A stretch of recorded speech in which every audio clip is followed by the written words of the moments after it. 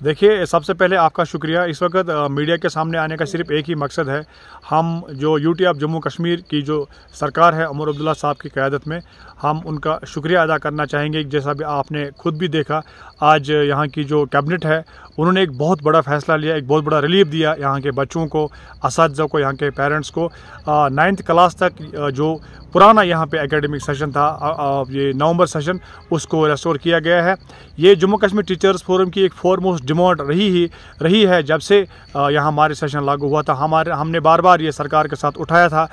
कि ये सेशन जो है नवंबर में होना चाहिए, क्योंकि यहाँ की टॉपोग्राफिक जो है, वो मार्च सेशन को सूट नहीं करती है। तो हम जम्मू कश्मीर टीचर्स फोरम की एंटायर लीडरशिप खसूस हमारे चेयरमैन श्री गणेश खुजूरा जी, हमारे प्रेसिडेंट जनाब मोहम्मद सबीर रातर साहब, बाकी जितने भी हमारे कायदीन हैं जम्मू कश्मीर टीचर्स फोरम के, उनके आन, उनके बिहा पर मैं बस spokesperson of the organisation मैं जनाब अमर अब्दुल्ला साहब का, जो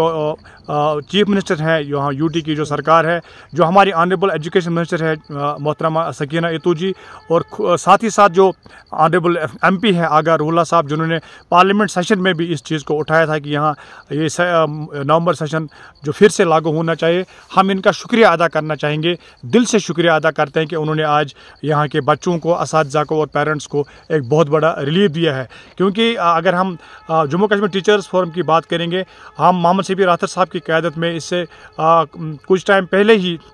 जो कुछ दिनों पहले की अगर हम बात करेंगे, हम ऑनरेबल सीएम साहब से पर्सनली मिले भी थे, हमने उनकी नोट्स में ये लाया भी था, और जो ऑनरेबल एजुकेशन मिनिस्टर हैं उनसे भी हम मिले थे, उनकी नोट्स में भी हमने लाया था, और जो महकम तालीम के आला ज़िम्मेदार हैं, उनकी नोट्स में ऑलरेडी हमने ये लाया था। तो आज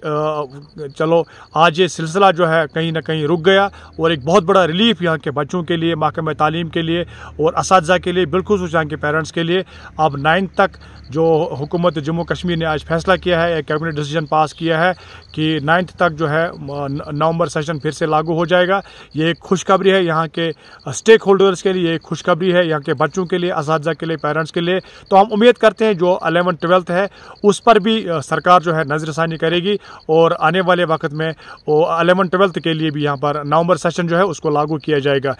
और हम आपके माध्यम से ऑनरेबल चीफ मिनिस्टर जनाब अमर अब्दुल्ला साहब का ऑनरेबल एजुकेशन मिनिस्टर मोहतरमा सकीना इतू साहिबा का और जितने भी स्टेक होल्डर्स हैं महकमा तालीम के जो अफसरान हैं, उनका और बाकी जो मीडिया पर्सनस हैं और क्योंकि मीडिया पर्सनस ने वक्ता फ़वक्ता इस डिमांड को सरकार तक पहुँचाया और बहुत हाईलाइट किया तो उनका भी हम शुक्रिया अदा करना चाहेंगे। तो कहीं ना कहीं ये बहुत बड़ा रिलीफ है एक